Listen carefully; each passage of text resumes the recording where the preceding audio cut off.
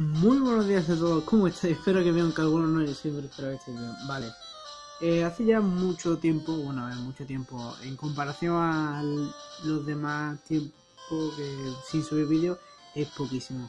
Han pasado creo que 5 días y pues bueno, que como son fiestas tengo mucho tiempo libre, mucho, no os imagináis el tiempo libre que tengo, prácticamente todo pues me han entrado ganas de grabar. Y bueno, pues ya está. Y yo mismo, eh, cavilando por la cabeza, me, he propuesto grabar al menos 5 vídeos antes de que acabe mis vacaciones, que acaban el 7, ¿vale? El 7 de enero acaban las vacaciones. Pues las vacaciones, pues me he propuesto grabar mínimo 5 vídeos. Escucharlo bien, porque eh, no, no, va a pasar en mucho tiempo.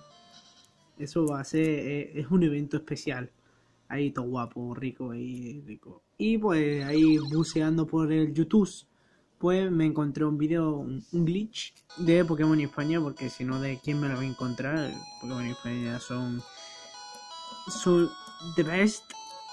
Y pues vi un glitch de Pokémon amarillo y dije, hostia, yo en la Game Poly me compré un Pokémon amarillo en japonés, pero bueno, yo me lo compré. Y vi el glitch de empezar con Magmar dije, hostia, lo voy a grabar. Primero lo he, estado intentando fuera de cámara, evidentemente, porque para aprender a hacerlo en condiciones. Y una vez ya, entre comillas, lo he manejado bien, pues digo, bueno, voy a grabarlo y ya está. Vale. Lo primero que tenemos que hacer es empezar partida, ¿vale? Que es el segundo, ¿vale? El segundo renglón. Y pues empezamos partida normal, tal cual ya advierto que el, los efectos del combate cambian un poco. Ya, ya lo veréis. Al final del vídeo quiero eh, dejar posibles casos que se os pueda dar cuando entres en combate. Y porque cambian un poco, ¿vale? O sea, no es como en la versión española que puedes huir de primera. O sea, tú entras en combate y si le das a huir, huye. En la versión japonesa no. De hecho, por las veces que lo estoy intentando es más probable que no puedas huir, o sea, que no te deje huir, a que puedas huir. Y pues eso es, ya lo veréis de todas maneras en la final del vídeo, que es, tener suerte, por así decirlo. Es una probabilidad y es bastante más pequeña que te deje huir a que no te deje huir, la verdad. Y nada, pues bueno, esto el inicio sí que es exactamente igual que en la versión española, ¿no? Eh, atrapa el profesor Haga Pikachu y tal y cual y, tal y cual. Una cosa que me ha hecho mucha gracia eh, de estos juegos, porque yo no soy, yo no soy de esa época de Pokémon rojo, amarillo, azul y eso, plata ni cristal ni plata, eh, ni plata ni oro ni cristal, no soy de esa época, entonces el subir de experiencia por lo menos en amarillo, creo que también en rojo y azul, eh, no se ve la barra de experiencia. La barra de experiencia no existe. Si el Pokémon va a subir de nivel, hace ¡pum! y sube de nivel automáticamente. Vale, ahora sí, aquí está el profesor diciéndonos que dame un Pokémon, sí, no sé qué, no sé cuánto. Aquí, antes de la Pokéball, tenemos que guardar, ¿vale? Nos va a poner... Hay una partida ya guardada, ¿quieres sobreescribir? Sí guardamos partida y simplemente lo seleccionamos, ¿no? Esto sí es exactamente igual al glitch de la versión española, por cierto, lo voy a poner en grande para que se vea mejor. Me cago en ahora. Ya nos quita el Pokémon, ahora el profesor nos va a dar el Pikachu y ahora entramos en combate. Em, no es necesario ganar combate, pero voy a intentar ganarlo porque no me gusta perder, ¿vale? No me gusta perder no es necesario eso, ganar el combate porque los Pokédólares que te dan no, no son necesarios realmente. Con lo que tienes de, de, por sí son los que te hacen falta para comprar las Pokéball que te, que te hacen falta para después conseguir más mal, ¿vale? Entramos en combate, tal, bueno, eh, voy comentando lo que quiero hacer en estos 5 vídeos que ya he dicho. Me gustaría grabar varios glitches de de cualquier juego. Voy a intentar que sean de consolas antiguas, no de, de 2DS, 3DS em, y ya está porque no tengo la Switch. Eh, no sé, me... Bien, lo he paralizado. No, me gustan más los glitches antiguos que los de ahora porque son mucho más mucho más espectaculares porque ahora es como que tienen es normal, ¿no? Ahora tienen más precisión al hacer los juegos, pero hay alguno que otra cosa que como por ejemplo los glitches de Pokémon Esmeralda. Eh, ¿Ve? Ha subido de nivel así porque sí. El glitch de, eh, de Oxy y de Mew son brutales. Eh, los he hecho los dos y lo se, pasa mal al levear al, al Sido de mierda. Pero bueno, eso me estoy yendo por la rama.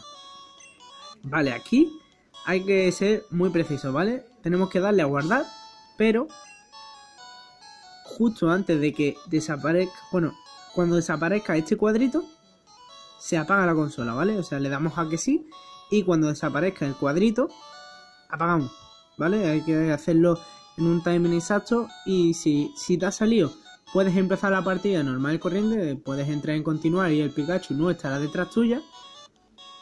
Y si no te ha salido, te pondrá antes de entrar en la partida eh, datos destruidos. Datos destruidos, bueno, pues tienes que volverlo a intentar, ¿vale? A ver, yo creo que más o menos tengo el timing, o eso espero, no quiero tardar mucho en hacerlo. A ver.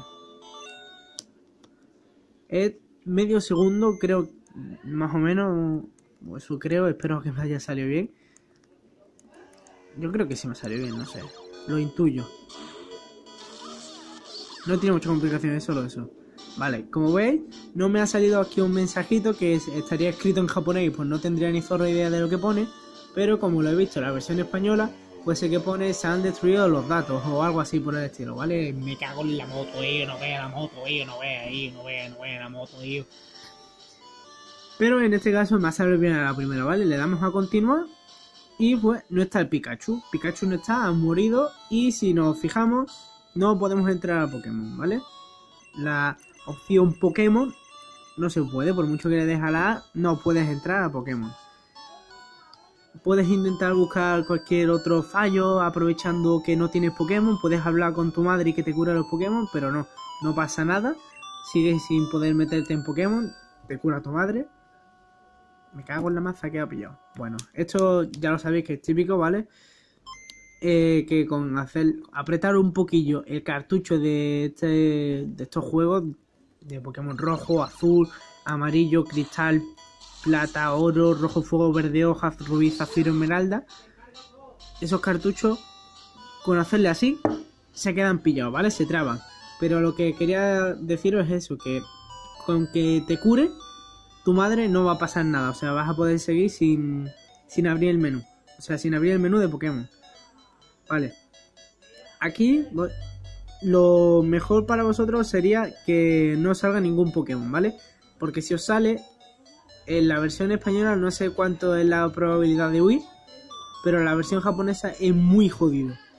Es muy jodido y tenéis que estar, tenéis que entrar en combate. Tenéis que luchar, os va a salir, bueno, ya lo veréis al final del vídeo que de hecho yo me he quedado sorprendido al que no me haya salido un Pokémon porque normalmente las veces que lo he intentado me ha salido un Pokémon el 80% de las veces. Ahora recogemos el paquete y simplemente nos vamos. Eh, recomiendo eh, pues saltar por los por los bordillos, eh, es tontería, ¿no? Vamos a evitarnos el, entrar en un combate Pokémon y que se, se nos bloquee o cualquier cosa, ¿vale? Que es posible que pase. Vale, aquí es donde me suelen salir también Pokémon en estos pocos cuadros y tampoco... ¡Oh! Me estoy quedando todo loco porque normalmente en eso, en esos franjas de, de hierba, iba a decir césped, me salen Pokémon y ahora pues no me han salido. Esto está quedando perfecto. Y al final del vídeo pues ya digo, veréis las posibles variaciones que tiene el que te salga un Pokémon o no. le damos el correo, nos da la Pokéball, ahora aparece Gary y tal. Pues esto es lo normal, ¿vale? Esto es, seguir la historia por ahora normal y corriente, como si no hubiese pasado nada. Ahí está hablando, ahí tal cual, tal cual. Y eso, pues ya está, nos habla. Ahora nos va a dar las Pokéballs, que pensaba que ya no la había dado. Y ahora pues nos van a dar las Pokédex. Bien, ahora hay que ir a la tienda y em, comprar 6 Pokéball. Pero no ve el bucherío que hay ahí. Em, da igual, en, en, versión japonesa al menos. Yo lo intenté, compré 10 Pokéball y me seguía saliendo Magmar, ¿vale? Eh, no lo sé que depende o no sé si es que la versión japonesa es diferente, no lo sé. Vaya, eso, eso no me lo esperaba. No sé si se llega a escuchar en la cámara, pero bueno, da igual. ¿Veis? Mira, ya que estoy aprovecho y no lo pongo al final del vídeo. Me ha salido un Pokémon, ¿vale? Sale ahí una cosa todo rara, el texto está todo petado, todo el juego está mal. No le voy a dar huir porque no quiero perder tiempo, ¿vale? Para eso está al final del vídeo. Si le damos a huir en la versión japonesa, no vais a huir. O sea, eso lo tengo más que comprobado que a la primera no vais a huir.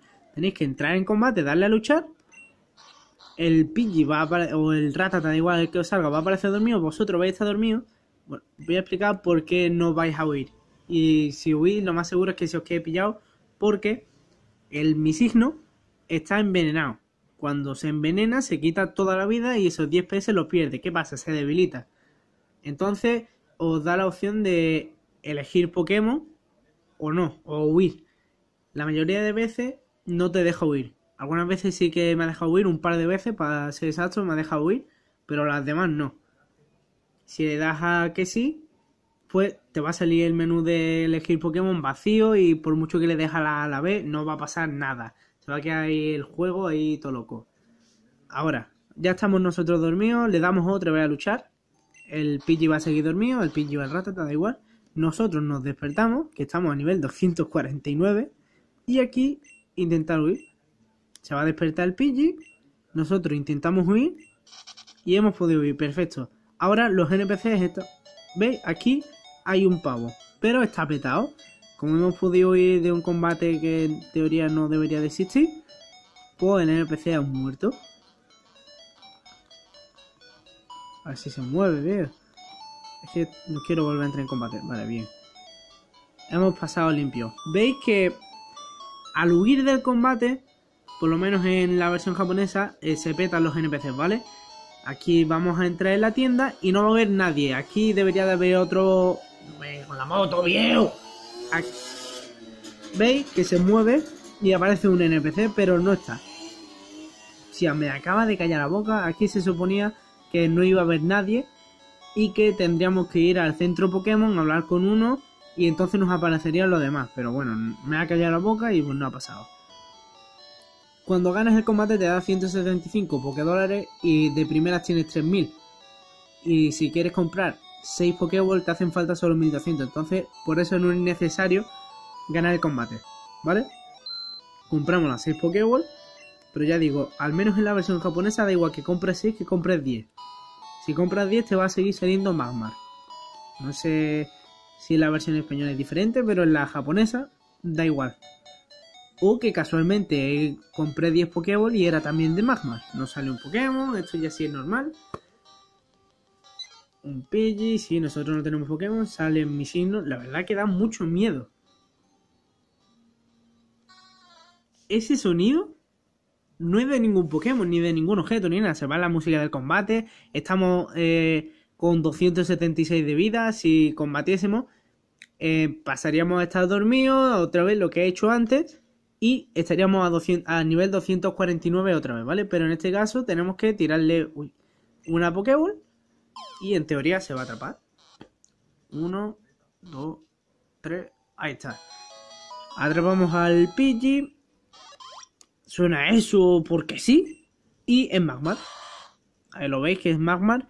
Pero, a diferencia de la versión española, que cuando atrapas al Magmar te sale a nivel al nivel que te haya salido el Pokémon salvaje, aquí el Magmar está a nivel 51. Por alguna razón está a nivel 51 y no está a nivel 4 o 3 o 2 al que te haya salido el Pokémon, ¿vale? Como veis, está la barra de vida está bastante petardeada. ¿Qué tenéis que hacer? Ir a curar.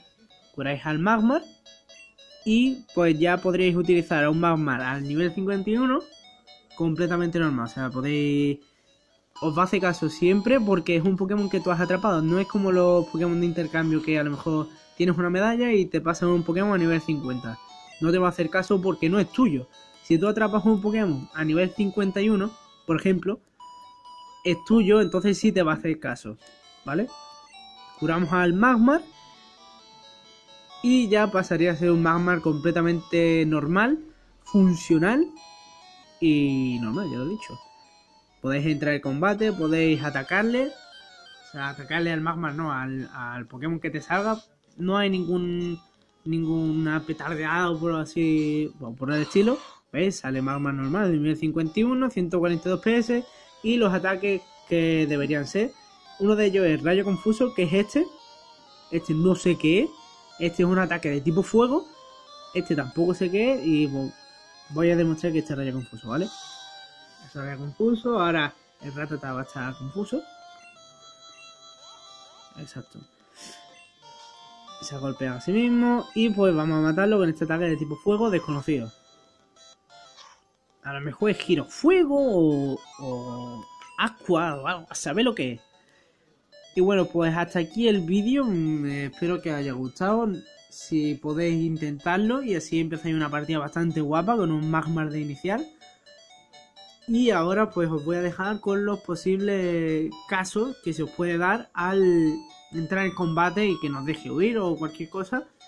Y ya está, eh, nos vemos en el próximo vídeo que espero que sea no, no dentro de mucho, yo que sé, a lo mejor mañana o bueno sí, claro, mañana o dentro de dos días o cosas así. Voy hasta, nos vemos en Madonna, en Madonna nos vemos, en Madonna, en Madonna, en Madonna.